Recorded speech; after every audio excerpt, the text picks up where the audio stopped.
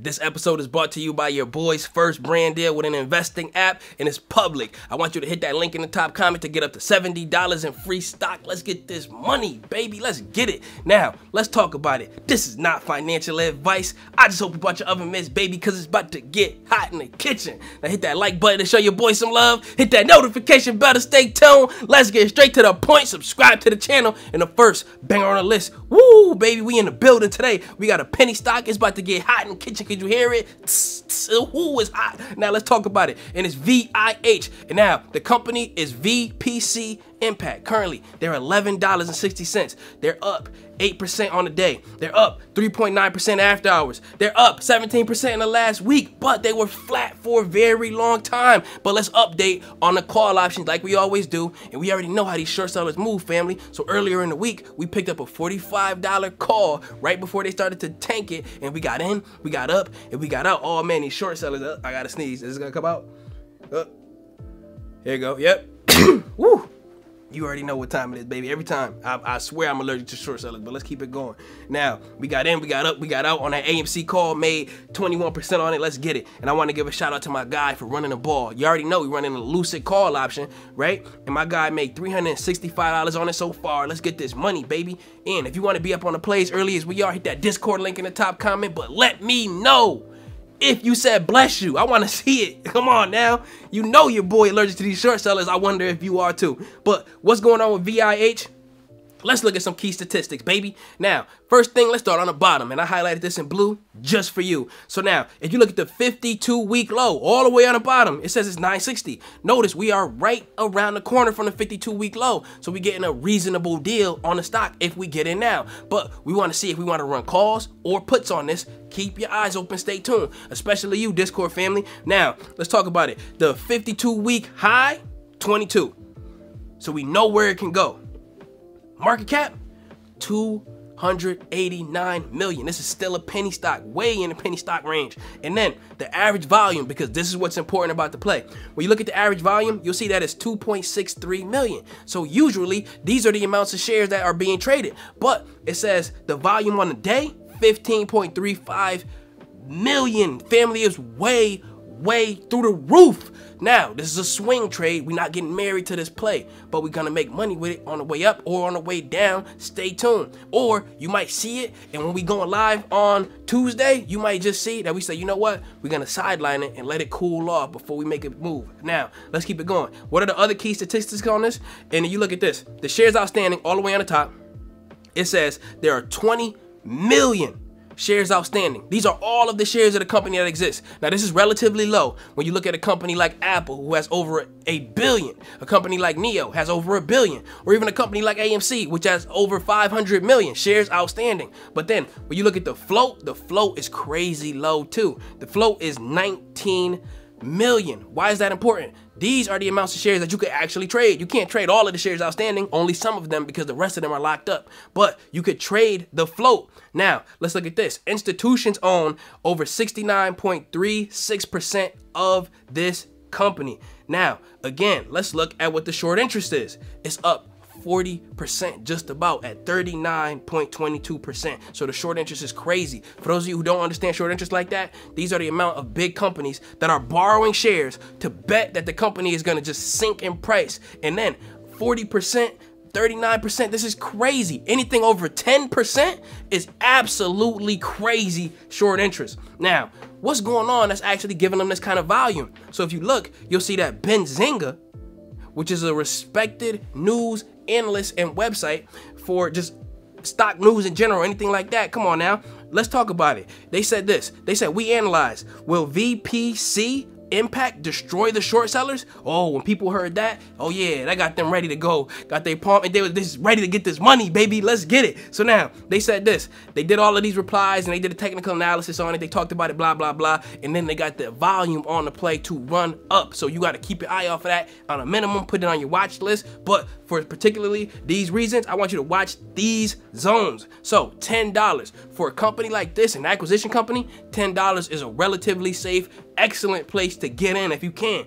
And then $11 has been a recent support, so we got our eye on that to see if it falls under the support and then tanks down, and then we could pick it up low, or we want to see if it breaks above basically $12 because this could be sending us straight to the promised land, baby. I'll see you there. Now, let's get to the next banger on the list because you already know it's crypto weekend, baby. The stock market is closed, but the crypto market is open.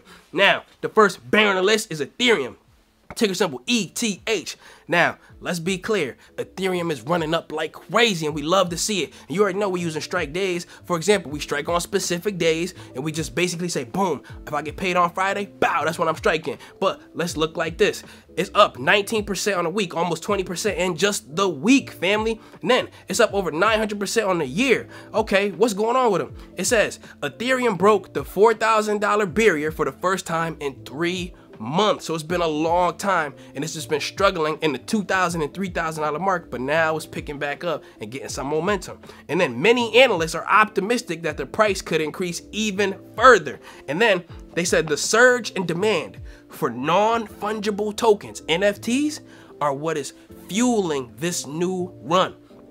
What is an NFT?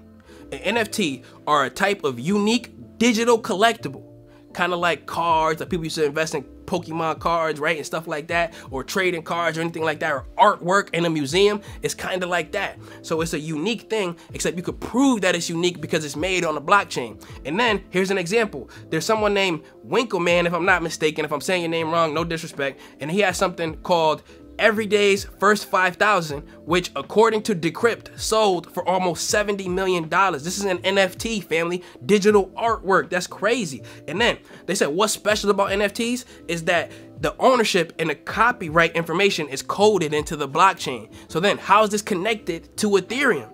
If you look on the bottom, you'll see this. It says while a, any copy of this could be just sent out on the internet like a screenshot or something like that, only one person owns the true original NFT. And then it says this.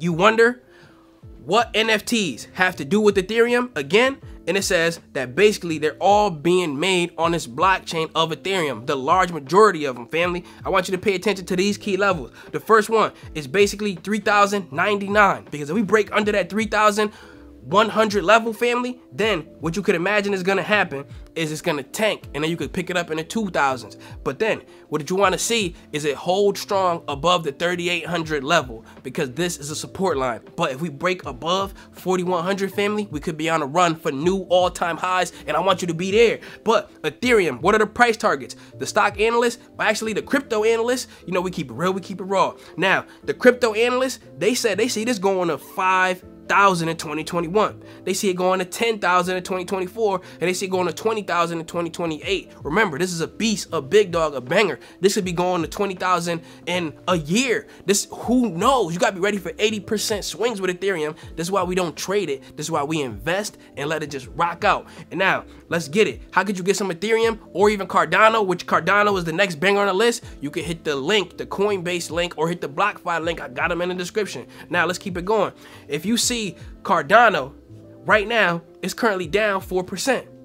But however, in the last month, it's up over 100%. So if you pick some up just in the last month, fam, you already hit the home run. But this is only the beginning. This is only the beginning. Yahoo Finance posted an article and they said this Cardano hits the three hour or the $3 mark for the first time as analysts predict. Not a bull cycle, a Super Bull cycle, family. They posted this September 2nd. And then they said the coin surpassed the Binance coin, becoming the third largest cryptocurrency. You got number one, Bitcoin. Number two, Ethereum. And now number three is Cardano, the beast, the banger. And then Binance coin, which is also a beast. Let's be clear on that. But what's going on? They said Cardano, its rally coincides with the launch of the Alonzo upgrade they're calling it and this is going to give it smart contract features so then you can make NFTs and all kind of other things like that with Cardano like they're doing with Ethereum. Now, what are the price targets on it? They said $3 basically by 2021, $5 by 2022, $20 by 2030. But let's talk about the beast, the big dog, the banger and I want you to know this. Sometimes with AMC, the next banger on the list, sometimes family, no news is good news. But let's talk about it. Currently $44 a share. Now, what's going on with them? My guy Eeyore over on Twitter, he said this the short interest is worth $40 billion of all the legally issued shares. This does not count the synthetic shares. Who knows what that is? Probably crazy. You know, if it looked like a duck, it quacked like a duck, it's probably a synthetic share. And then he said the shorts are basically up in their position, basically by 9 million shares just in the last few days. And then that was worth almost $400 million. However, they're down $3.8 billion in 2021. And this includes losing basically 128 million on Monday. Actually, yeah, let's get it, baby. Come on now. Now, what I want you to be ready for when the stock market opens again is this. If you go to Stonko Tracker, you'll see that there's over 1.1 million shares available for the short sellers to borrow. And what do they do with these borrowed shares? They try to use them and force the price down on the stock. So if you can't handle the heat of these hot stocks, then stay out of the kitchen and consider investing in index funds family. I love y'all. If you want to support your boy, hit that link and you'll get some free stock worth up to $70. But again, Discord family, I see you over there. I love y'all. Take care.